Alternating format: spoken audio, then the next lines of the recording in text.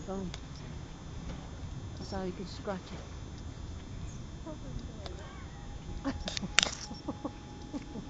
it.